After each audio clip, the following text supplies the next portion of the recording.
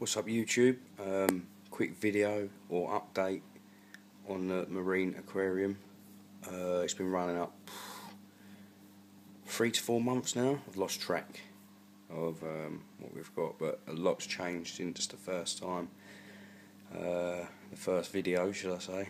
I'll give you new little infills, but this is just an update on corals and uh, other things in the tank.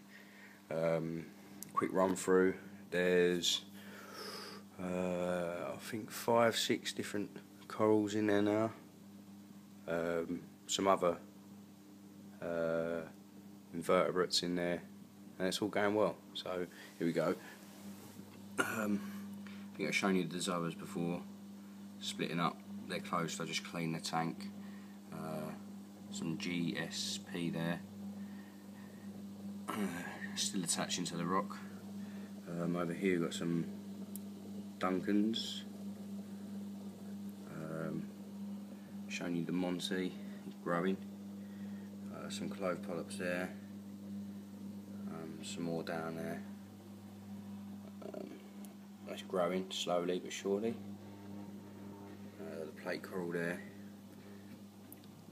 And three heads of the uh, hammer coral purple hammer. Um, yeah, um, yellow sea cucumber up there. It's only small, but looks good at the moment. Uh, in the rock down there, there's an emerald crab. I won't be able to zoom in because the quality of the video. But yeah, um, just a quick, um, just a quick video to say like everything's going well and stuff. I'm basically what I'm doing now. I've got one more frag to pick up next week, which I'm trading for them clove polyps. Um, got a couple of frags on the sand in the centre, as you can see. They're being picked up because I actually done my first frag of the clove polyps.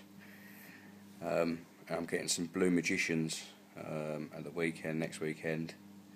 Um, and yeah, I just thought I'd give you a quick update show you that the um, Fluval Sea LED lighting supported most type of corals, soft and hard, and yeah. Um, just a quick video, really. Everything's going well. Nothing's changed much.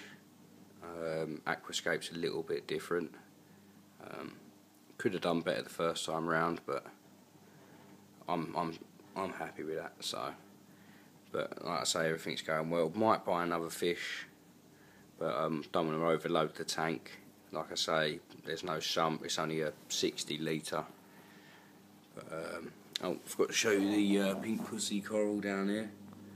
Uh, got that for a, a, fiver, which was an absolute steal really, because it's only it's only a little frag, but no intention of buying it. But see it in someone's display tank, so I thought I'd have it. But yeah, just a quick update. Um, hope you like the tank. Down in the left there, shrimp's grown some balls now he comes out. So, yeah.